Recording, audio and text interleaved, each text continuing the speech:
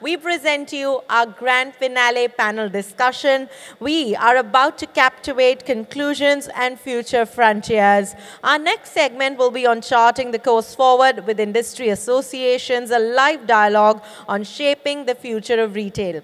Our next set of speakers are minds and leaders not only in the fields that they come from, but they are those who have taken their fields forward, have contributed immensely. Who am I talking about? Our next set of speakers right here on stage. Please welcome our moderator, Mr. Saurabh Shatdal, MD, Capital Markets and Head Retail India, Cushman and Wakefield. May I request all of you to please put your hands together for him. First thing in the morning today, he joined us on stage, and what better than having him back on for our grand finale. As our speakers for this segment, I'm about to present to you not only industry veterans, but they are examples, examples of those who know not only how to lead the way, but also showcase it. These are names that will bring to you the best success mantras like no one else will. Please put your hands together as we are honored by the very kind presence of Mr. Bijou Kurien, Chairman, Retail Association of India. We are so very glad all the way from Bengaluru to Mumbai. This is our way of welcoming you, sir. Thank you for honoring us with your presence. Let's hear a round of applause for him, please. She's someone who's carved her way into an industry which was earlier known to be an industry not only led by men but also dominated by men. She is a name that has shaken it all. She is a name that has broken all barriers, created not just a space for herself but so many other women. She has won number of accolades and we know what reasons behind it are her effort, her hard work, her dedication. Please welcome Ms. Pushpa Bector, Chairperson, Shopping Centre Association of India. What a pleasure to have you on stage with us, ma'am. I'd now like to present to you someone who is known to be a mentor for many. He's an inspiration for all of us. Let's hear it up for Mr. Kabir Suri, President, National Restaurant Association of India, someone who is known to be a voice who not only represents the restaurant industry, but a voice that makes a difference. A round of applause as he joins us on stage, please. Thank you so very much for being here. Let's look forward to this very, very interesting panel discussion with all of you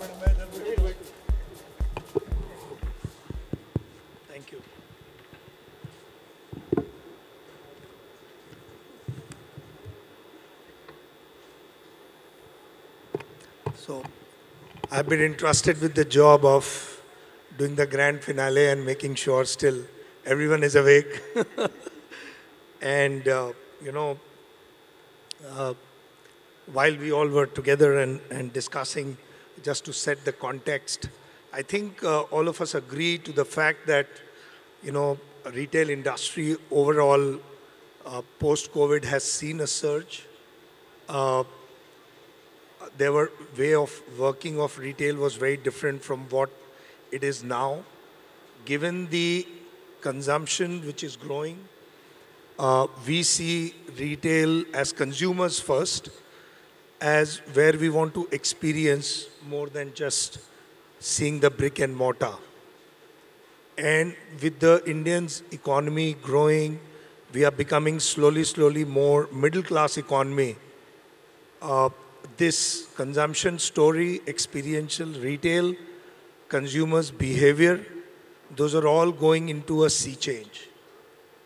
And those changes are inevitable. They will happen.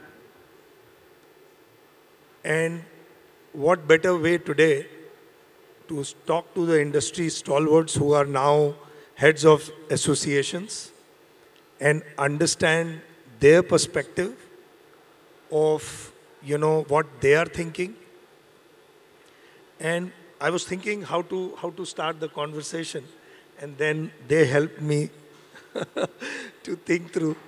And, you know, my first question, what I understood from them, and sorry if it is a little bit controversial, but uh, till now, why you guys have not collaborated?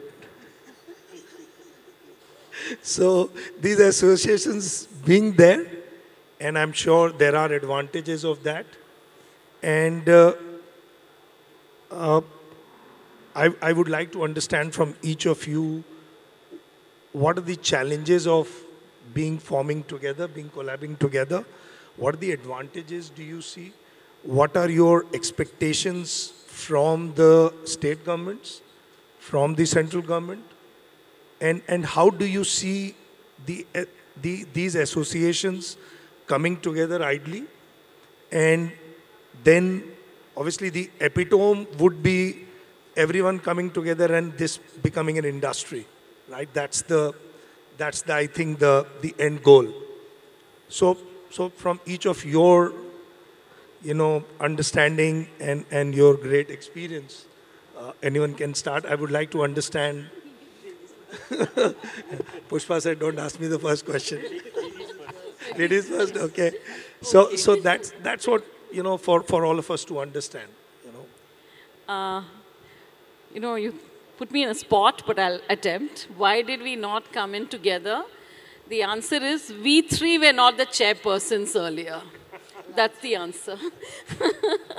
now that we are, I think we will make this attempt and make sure that um, we do something credible where, you know, all three of us are the highest employment generators.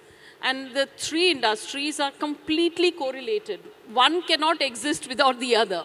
Which, I mean, I always say the shopping center is like just the hardware. The software is the people sitting on either side, you know. They are the ones who bring the soul, the brands, and um, the energy. So it's only natural that the problems are actually collective. Um, we were just talking earlier also, when different problems happen, I think COVID, that, you know, Black Swan event got a lot of us together. I remember having multiple sessions at that point in time to see how is it that we can save the industry. So maybe it was a crisis that brought people together, but so be it.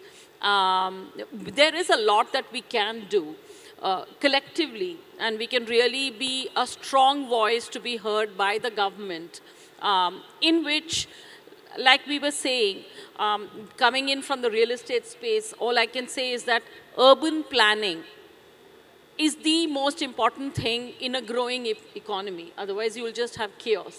So if we have a planned approach with three bodies going in and saying, you know, that particular area, this particular city needs to be planned in this manner, give suggestions, I'm sure they'll listen because this is a very strong body for them to not, you know, listen to us. I think that's really the start that we need to do on one hand. And on the other hand, really give them a more of a, like Kabir was suggesting, a public-private partnership approach. We, at an individual DLF level, we have tried it very successfully. And I think as industry bodies, if we try it, it will get heard a lot more. Sure, sure. Kabir, what's your what's your view on this? no, I, I completely echo what uh, Pushpa just said. I think, um, you know, as each of our industry is very competitive, uh, the food business in general, I'll speak for the food business to start with, uh, we are constantly competing with each other. And the togetherness, like again, as Pushpa said, only came through during COVID because I think people realized that fighting a war or fighting a battle or not knowing the everything being unknown because like she said it was a black swan event one did not know what was going to happen. So i think it brought everyone together right? So that maybe we can find a solution together of how to survive.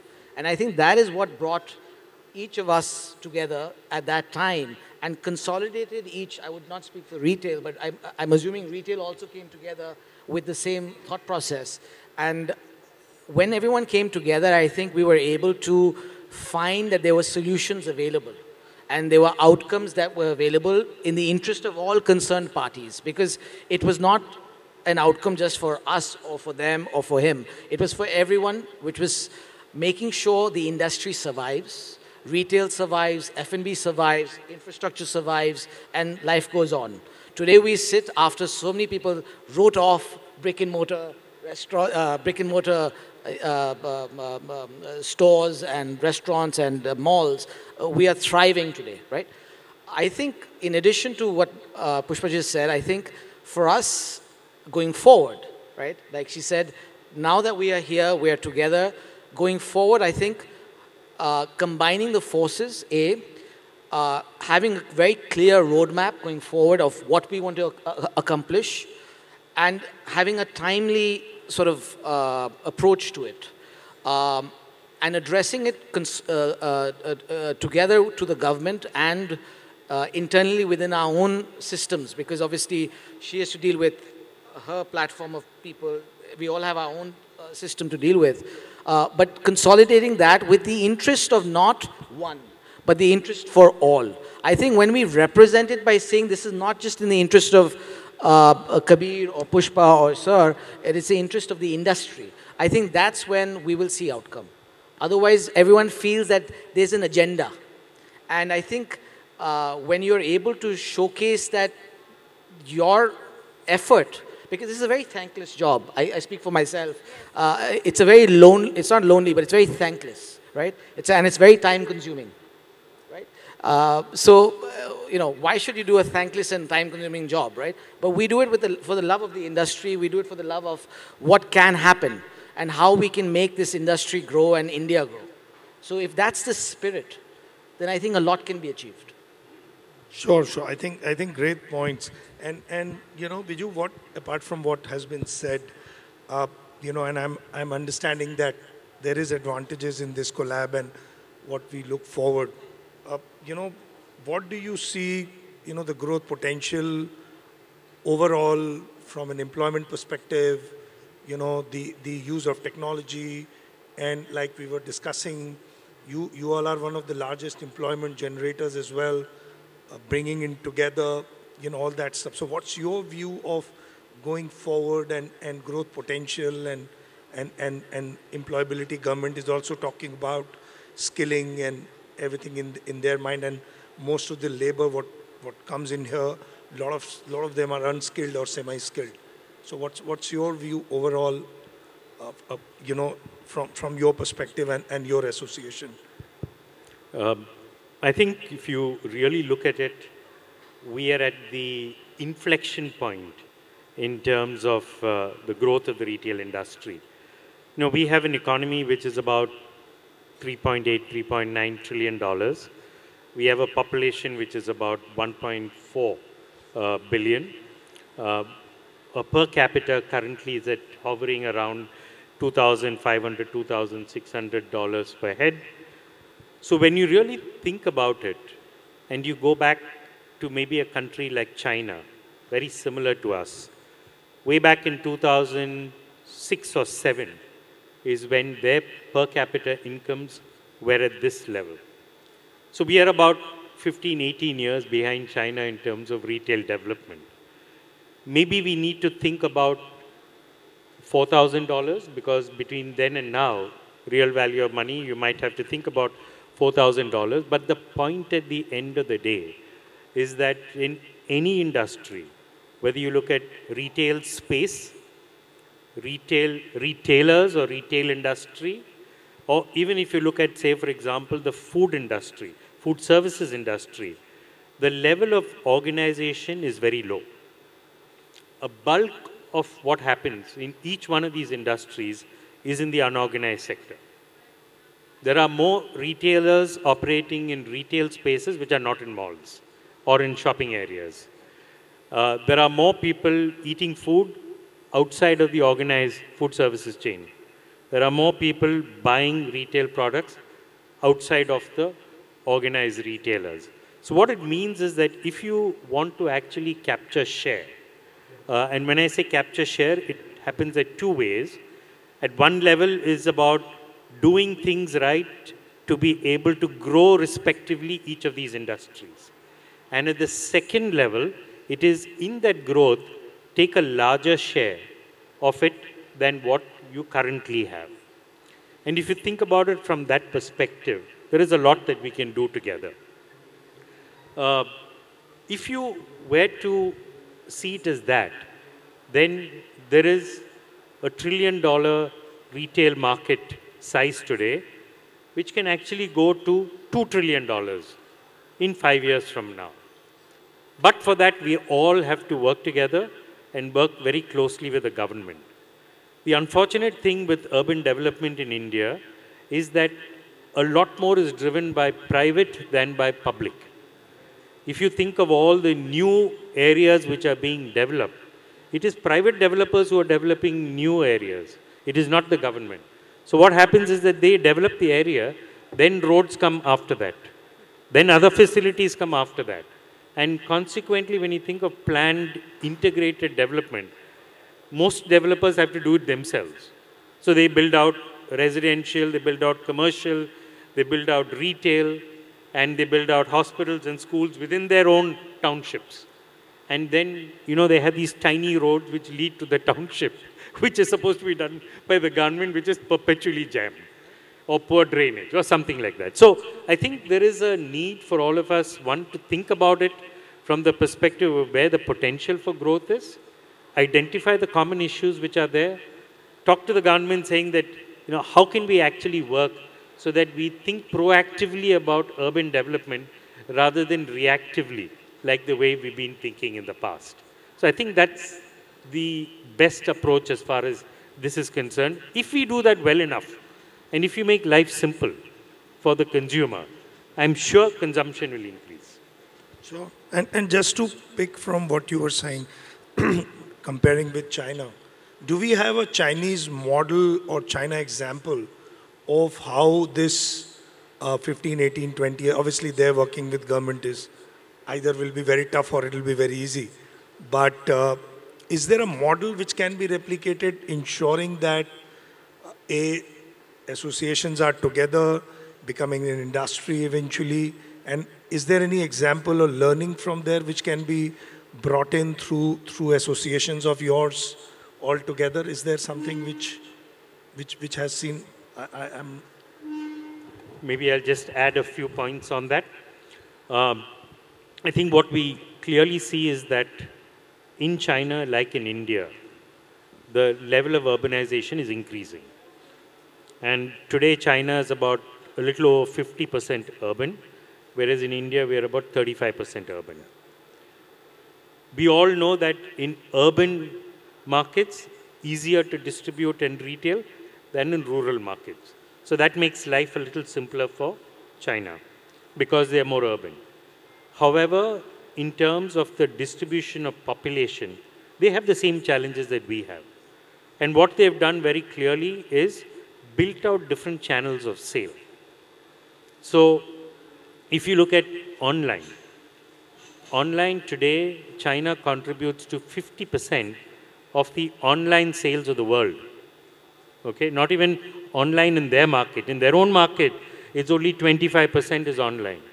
But they contribute to 50% of the online sales of the world. Evolved markets like the United States are tottering at around 20%, despite having Amazon as a you know, home market. So what it means is that they have addressed distribution challenges, which is people need products. Products not available locally. How do you make sure that you get it to them? The best way is that try and see how you can sell online. So some of the most evolved distribution channels happen in China. And there are some really incredible ways in which they are able to distribute, ranging up to cycles. Okay? Then in terms of payments, they managed to lick this entire payment problem, which we have also done to a large extent, but they managed to really get ahead in terms of payments. And today it's easy to, for me and Pushpa to sit next to each other and exchange payments without even looking at each other. You know, that's the level of uh, technology that they've managed to employ. Leave aside the fact that they've got a large number of brands, products, etc., etc. But those are some things that we can also do over a period of time. But these two areas is what they've used to be able to catapult growth in that industry.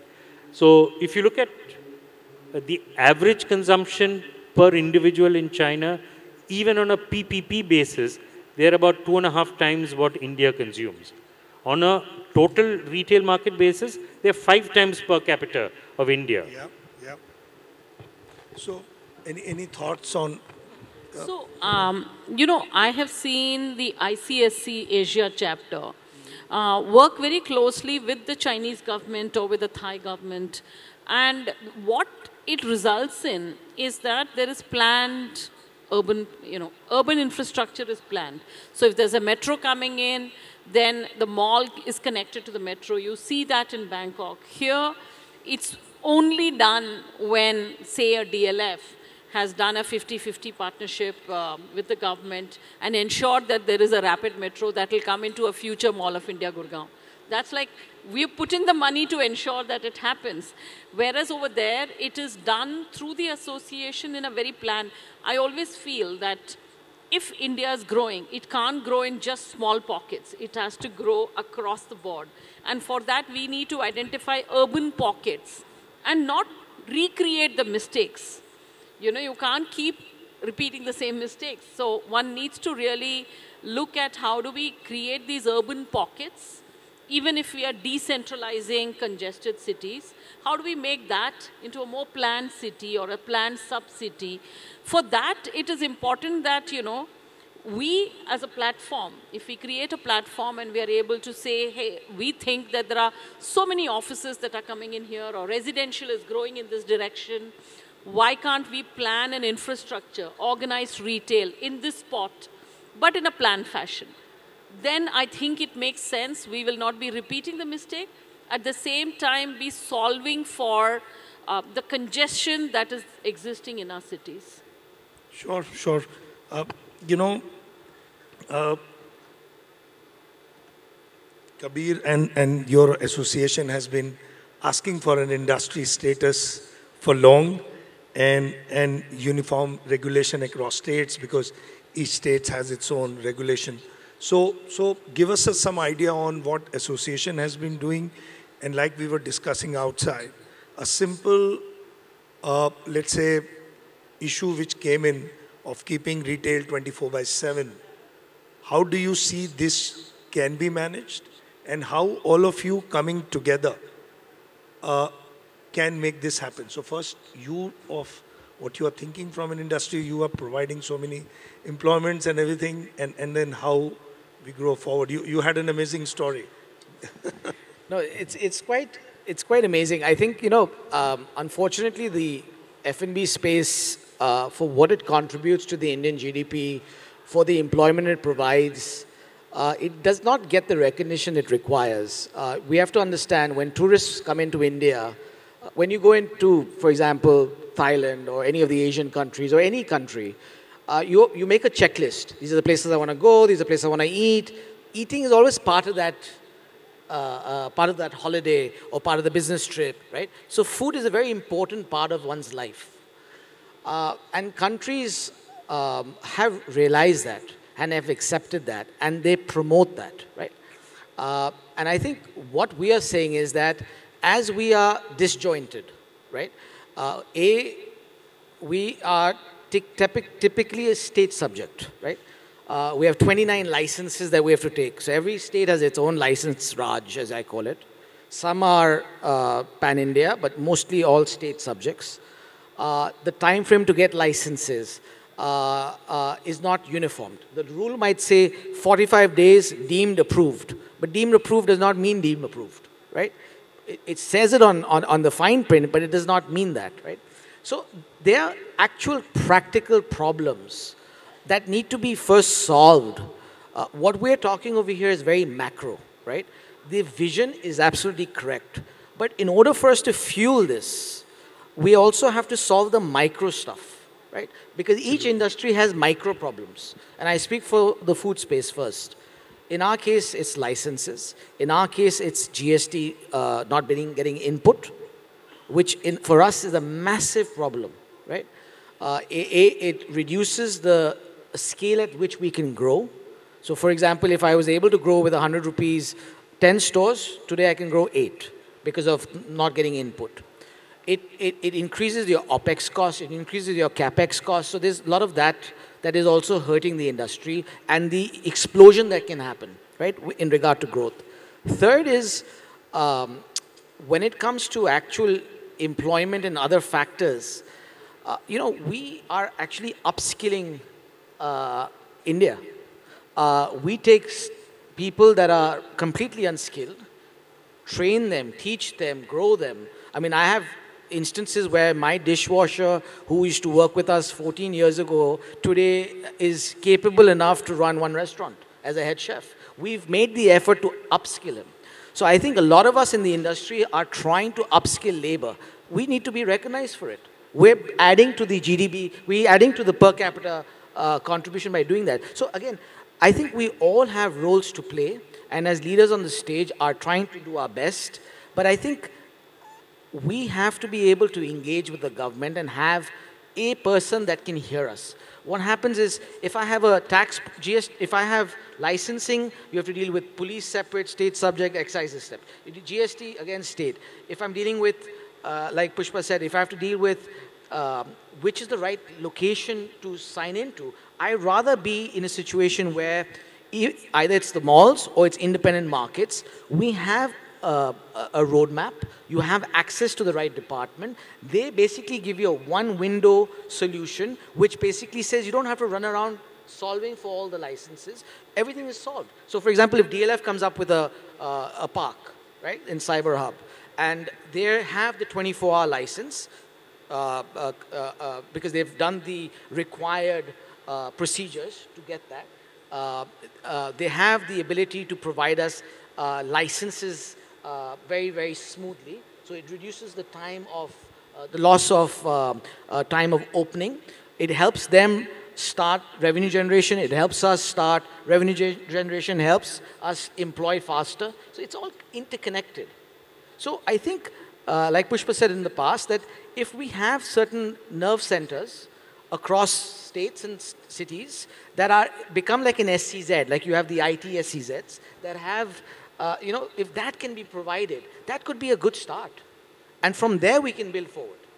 If you can't do it for the entire city or state, at least start in one area. And let us learn from it. And let us, uh, you know, go through the cycle of understanding the issues, the pains, and solving it. Sure, I think, I think it's a good thought. And, and Pushpa, staying with the similar thought, uh, you know, the, the taste and preferences and everything of the consumer is changing. So how your association or SCAI playing a role in ensuring product innovation and overall experience of the consumer? See, till now, um, this has been an individual mall effort. Uh, looking at trend analysis, etc. But now what we are doing with SC, you know, Sky sure. is really coming up with a paper, a white paper, which gives trends. What we are also doing is we're conducting master classes.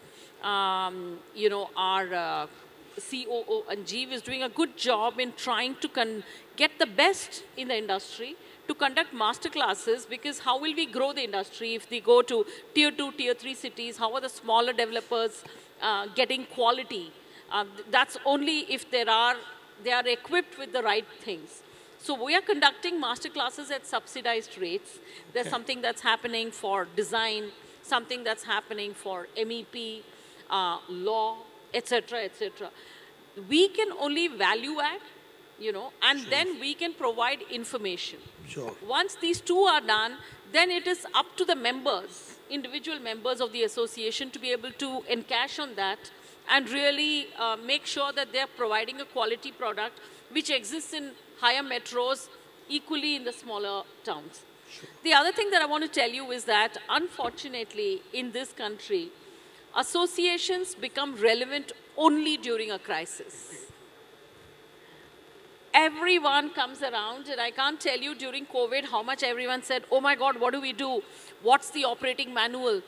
So DLF, um, I mean, we had an operating manual. We said, hey, here is a manual take it, give it to everyone so that people get that information. The COVID protocols are in place. We just gave it out at that point.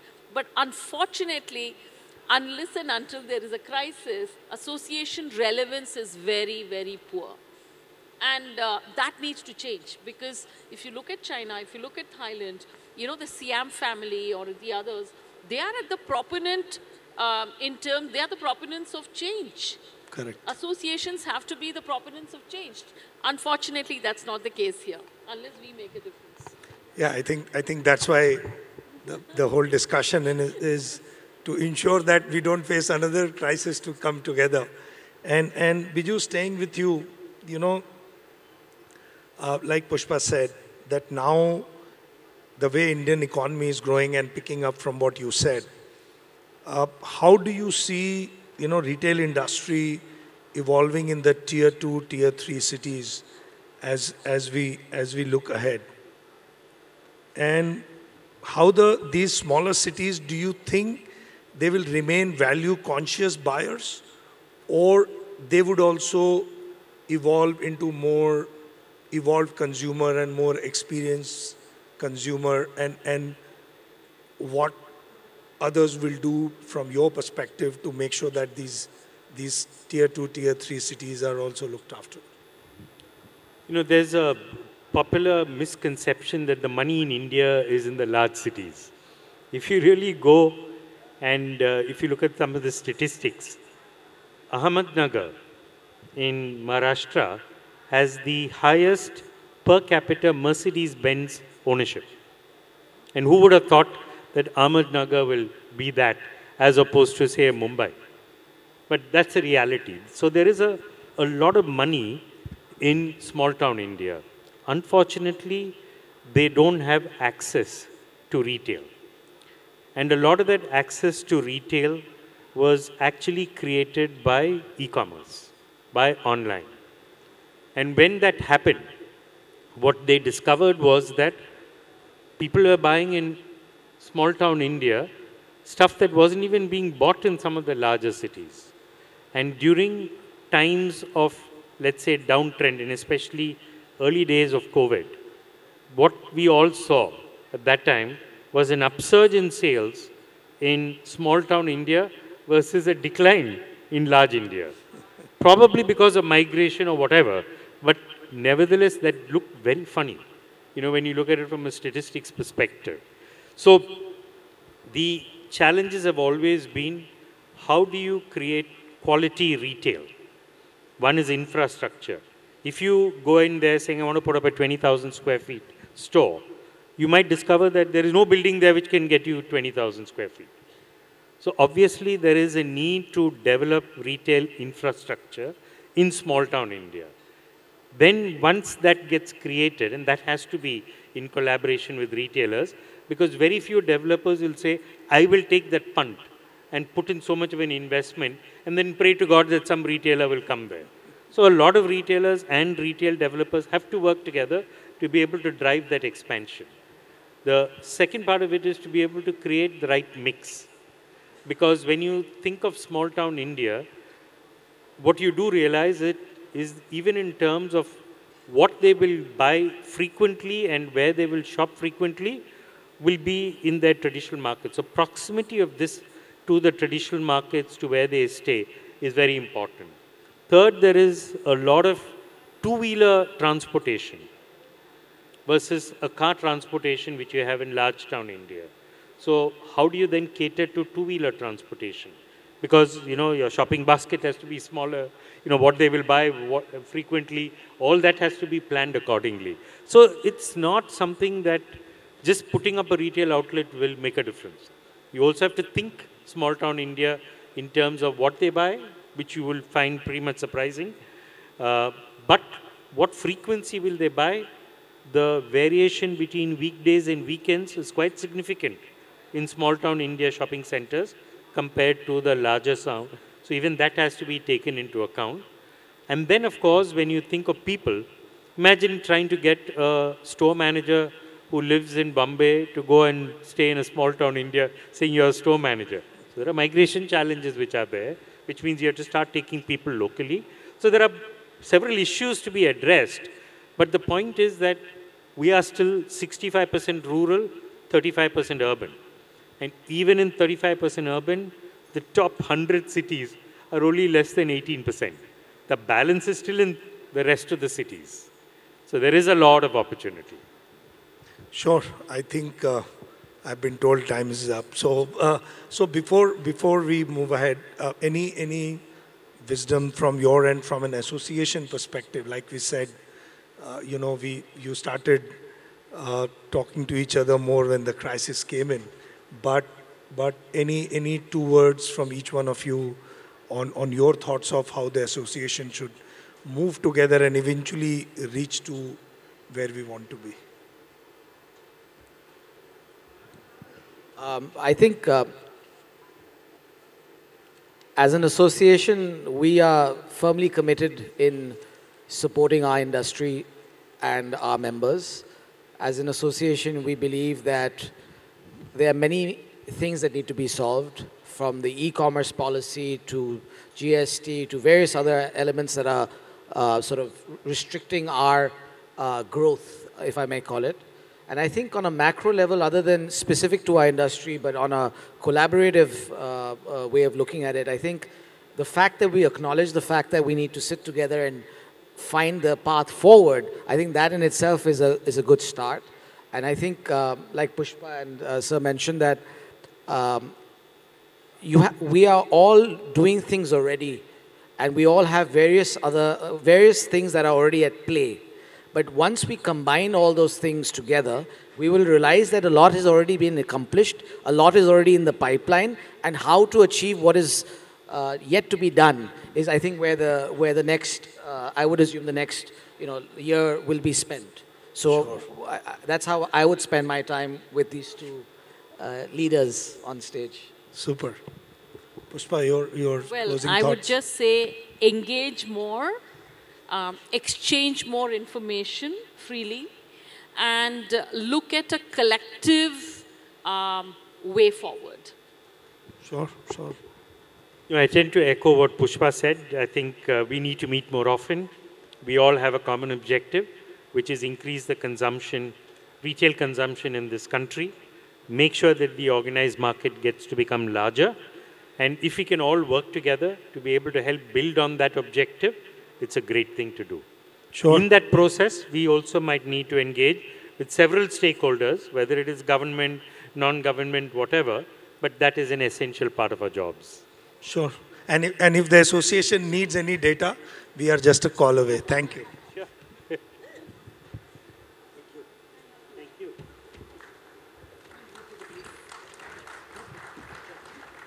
Thank you so very much. And at this point, we'd like to thank all of you. Please join us for a picture as we take a moment and uh, thank you for your very kind presence.